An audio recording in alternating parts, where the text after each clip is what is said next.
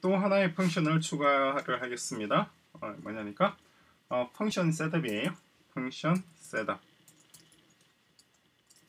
TSX인데 뭐 정확히 얘기하면 cycle setup으로 하는 게 낫겠네. cycle setup 뭐냐니까 cycle application을 만들어내는 거예요. 그죠? setup function에 기초하고 있습니다. based on cycle JS의 셋업입니다. 펑션이고. 그러니까 얘의 역할이 아주 중요합니다. OP에서 어떻게 중요하냐니까 음, 중요하니까 우리 지금 OP는 어떻게 되나요? OP 펑션 numerous 굉장히 많죠. 예? numerous OP 펑션 어, more than 50,000 OP 펑션 그죠?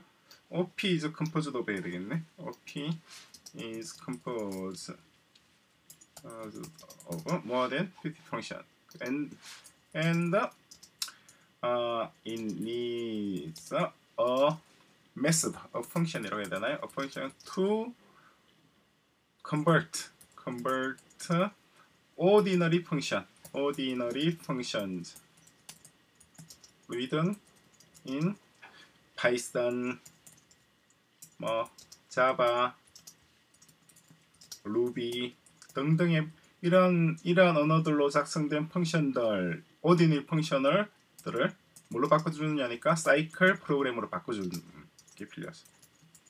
그게 요, 요 사이클 셋업입니다.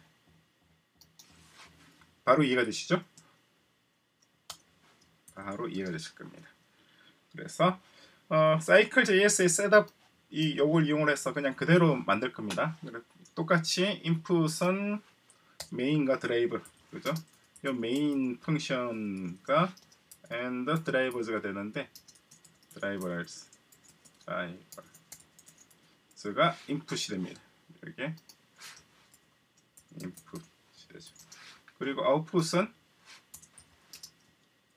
아웃풋은 사이클 앱입니다. 사이클 앱 그래서 이 main main main이 뭐예요? 이 main이 바로 뭐냐? 파이썬이나 자바, 루비로 작성되어진 하나의 function입니다. 그죠? 인풋과 아웃풋이 규정되어 있는 하나의 function. 그죠? 그리고 이 드라이버들을 지정을 해야 돼요.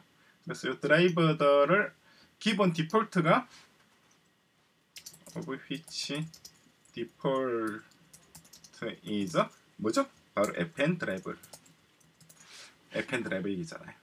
어디 갔나요? 어? fn 드라이버, fn 드라이버, fn 드라이버가 없네. fn 컨버터라고 작성이 되어 있네요. 요게 음, fn converter인데 요게 Cycle Setup입니다. 그죠?